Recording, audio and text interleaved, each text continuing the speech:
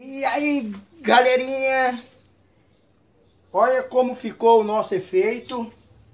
O primeiro efeito da sequência que nós vamos fazer essa semana. Beleza, galera? Gostei bastante. Aí, ó.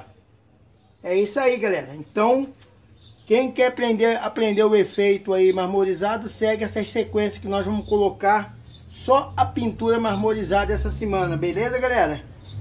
Então, segue aí o passo a passo, galera, vamos lá. E aí, galerinha do canal The Brother. Boa tarde, galerinha.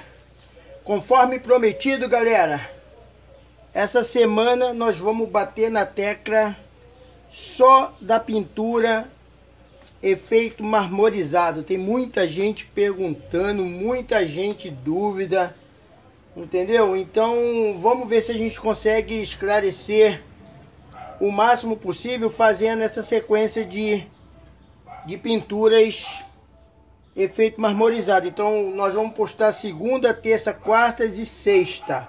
Só a pintura. Beleza, galera? Então, para hoje aqui, ó, nós temos o nosso vaso R17. Beleza? Eu dei a segunda mão aqui no tom branco. Agora eu vou esperar secar.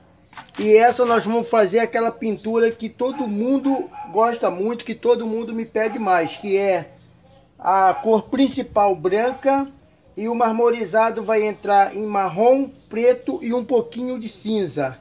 Beleza, galera? Então vamos esperar secar e a gente vai lá pro tanque lá pra gente poder marmorizar ele. Beleza, galerinha?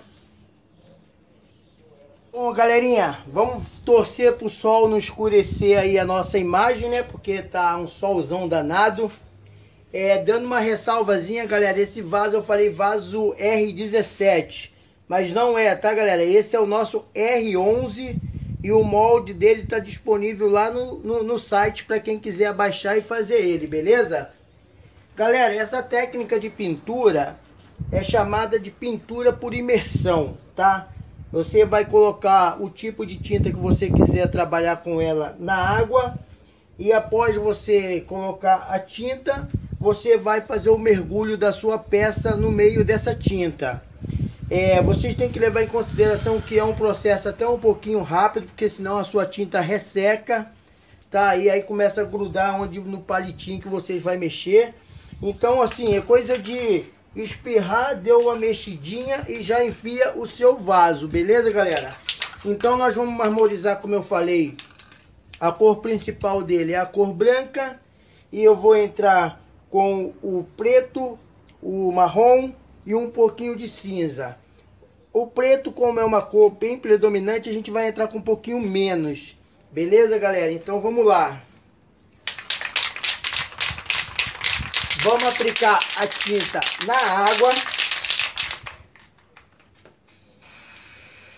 Marrom, preto, marrom, pouquinho de cinza.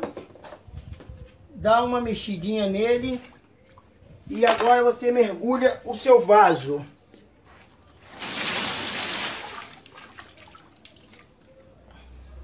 Tira e aí você faz o efeito. Beleza, galera? Lembrando que essa aqui estava cheia demais por causa da água de, da chuva, então eu não desvaziei ele. Mas você tem que colocar a quantidade de água que você mergulha o seu vaso e a água cai para dentro do vaso, mas não caia para fora, beleza, galera? Mas mesmo assim ficou um efeito bem legal, ó, ficou todo branco aqui em cima e o efeito ficou embaixo. Então esse aqui é o nosso efeito, galera.